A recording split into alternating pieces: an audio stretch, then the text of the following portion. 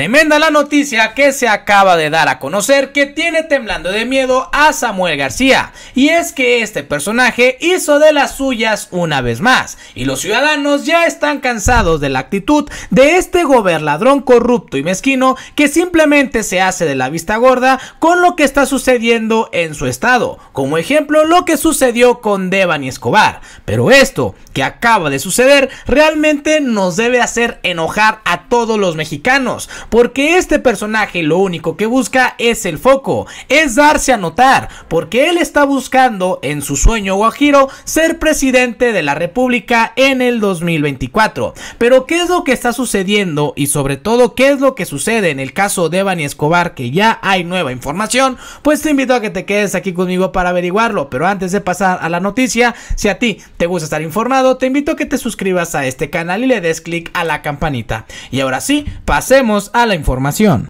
No cabe duda el caso de Bani Escobar marcó un antes y un después en la vida política y pública de nuestro país. Y es que este caso nos demostró las deficiencias que existen dentro de las fiscalías estatales. Y es que actualmente, lamentablemente, estas dependencias que deberían de impartir justicia en beneficio de las y los mexicanos están cooptados con fines políticos y por personajes de la delincuencia. Y son parte de un entramaje para no permitir que los mexicanos obtengamos esta justicia que está establecida en nuestra constitución. En el caso de Bani Escobar, el gobierno federal tuvo que intervenir y vaya noticia se anunció en la mañanera al lado del presidente Andrés Manuel. Veamos el video. Escobar Rosaldúa, se sigue la eh, coordinación permanente con la Fiscalía de Nuevo León, se han ido complementando las investigaciones, ampliando entrevistas tanto de testigos como personas cercanas de la víctima. Se han incorporado hallazgos, indicios y estudios periciales para la homologación de los dictámenes médicos practicados anteriormente al cuerpo de la víctima, que van a ser de utilidad para los estudios que se realizarán a partir de la exhumación, la cual será ya en los próximos días, eh, cuando ya el Poder Judicial de Nuevo León le conceda a la Fiscalía este, esta eh, petición y se pueda proceder en consecuencia. Siguiente. En el caso de los eh, compañeros periodistas víctimas de homicidio, informar que hay... Pues a esta familia lo que dio a conocer, eh, lo que se dio a conocer en la mañanera una información que obviamente fue después corroborada por el papá de Devani, quien rompe el silencio al lado de, de su esposa, la mamá de Devani. Y es que familia, pues esta nueva autopsia que ya se tiene... Eh, pensada se realice en los próximos días de, la exhumación del cuerpo, pues la verdad que eh, ha dejado con mucha expectación a todos los mexicanos que hemos seguido de, de cerca este caso, pero además nos muestra la hipocresía y la mezquindad de las autoridades de Nuevo León, que simplemente no hicieron su trabajo y que al contrario de ello, pues formaron parte de esta, este encubrimiento de personajes que estuvieron involucrados en el caso. Escuchemos qué fue lo que dijo el papá de Devani Escobar. Buenas noches, ¿cómo están? Espero que bien. Soy Buenas noches a todos. Este, bueno, este, eh, para dar seguimiento a lo que salió el día de hoy ahí este, en la mañanera eh, con el doctor Mejía, bueno, queremos comentarles este, que se ha dado continuidad a, las investigaciones o a los trabajos del grupo interinstitucional, como comentaba el doctor, en el proceso de investigación, este, bueno, esto con la colaboración de la Fiscalía General del Estado de Nuevo León. Este, en ese sentido, este, pues se han realizado entrevistas este, con nosotros, eh, como entrevistas complementarias con algunas personas que lo ha solicitado la, la, Fiscalía General del Estado de Nuevo León.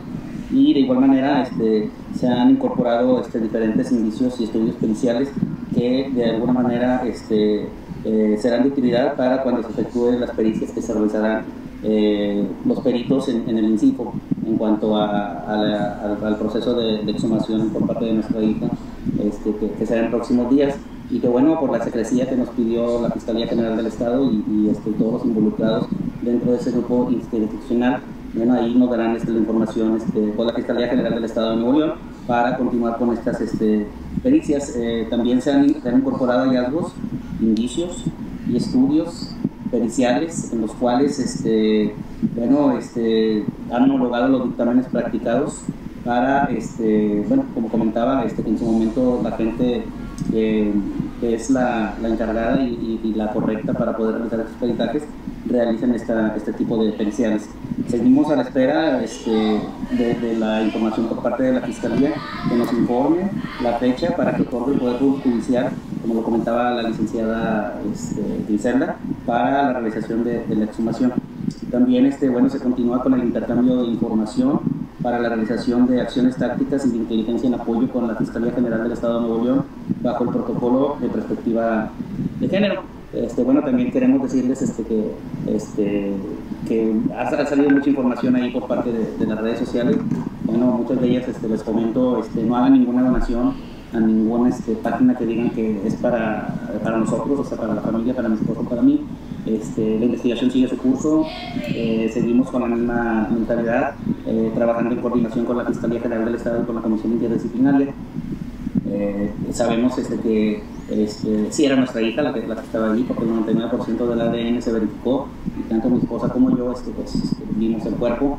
Eh, cuando mi esposa comenta que, que no, eh, había comentado que no, o, o, ustedes comentan que no vio el cuerpo, bueno, sí, sí, sí lo vimos, este, lo identificamos claramente a nuestra hija, este, tenemos toda la confianza y expectativas en, en, la, fiscalía que, van a hacer su trabajo de acuerdo con este, la comisión interdisciplinaria que, se está manejando por parte de la CONAS de antisecuestros, este, el doctor Mejía que da las pláticas ahí en la mañanera, en coordinación junto todo esto con el presidente Andrés Manuel López Obrador.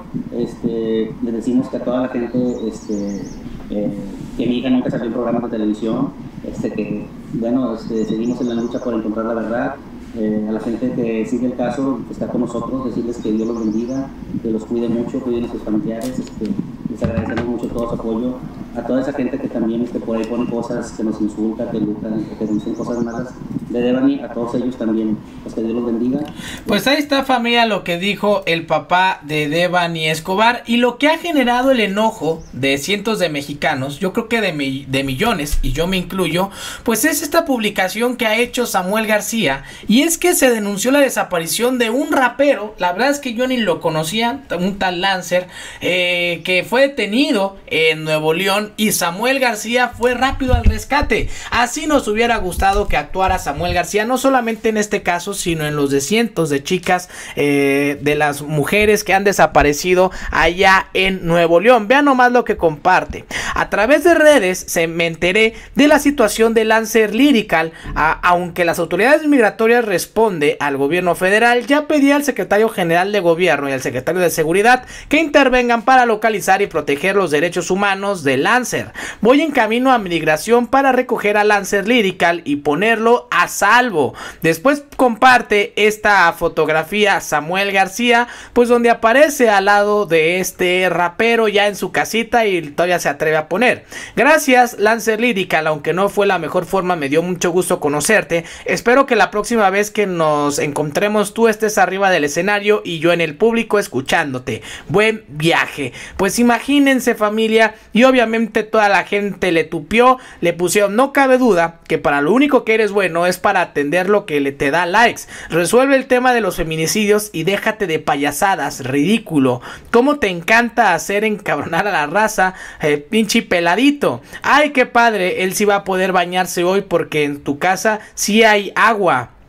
Así rescataras, eh, así rescataras a las mujeres con todo respeto para el rapa, rapero. Y ese pelón que, el agua, tonto, el agua. Podemos caer a tu casa por agua y de paso que se arme la carnita asada. ¿Cómo va para tu casa? Lo bueno es que va a tener agua. Mientras tanto, el pueblo de Nuevo León sin agua y con inseguridad a la orden del día. Más aumento de la tarifa. El, el agua, puñetas. Eso, eso te diría Franco. Por una parte entiendo que puede ser mucho que el gobierno vaya personalmente a resolverlo. Por otra me encantaría haber visto las caras de los ojetes que se la hicieron de tos. Eh, no sé cómo está la situación de Nuevo León ni, ni me compete, la verdad. Mejor no opino. Pero lo único que sí le agradezco es que haya ayudado a un artista que lleva años levantando su carrera de manera honrada. Ha de estar usando como bombero para intentar apagar el fuego que provocó en Nuevo León. No creo que te convenga mucho meterte en ese juego. Y así muchísima gente comentando sobre el agua, sobre los feminicidios allá en Nuevo León y obviamente pues Samuel García silencio, porque al final lo único que le gusta a este junior de la política es llamar la atención. También se dio a conocer un dato importante que yo creo que en este, en este tema de la lucha contra los feminicidios es importante y es la detención de Marlon Botas, quien eh, pues fue el que perpetró eh, estas acciones en contra de Montserrat Bendimes. Él estuvo prácticamente un año este desaparecido, prófugo de la justicia y ya fue detenido. Veamos el video. El del estado de Veracruz informó que este viernes 3 de junio la detención de Marlon N., presunto feminicida de la joven Montserrat Bendímez Roldán. Su detención se llevó a cabo durante un cateo a la casa de la abuela del presunto feminicida, ubicada en Mérida, Yucatán.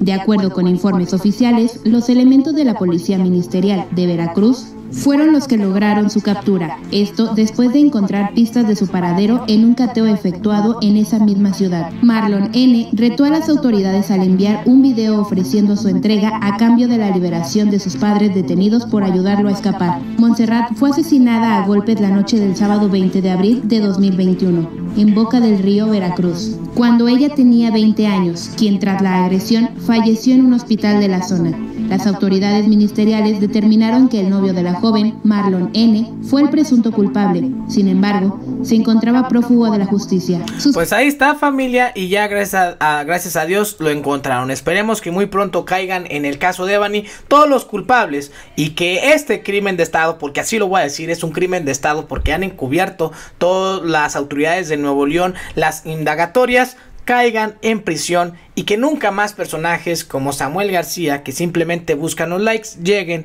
a gobernar y a ser entes importantes en el desarrollo de México. Yo soy Pepe Ramírez y nos vemos hasta la próxima.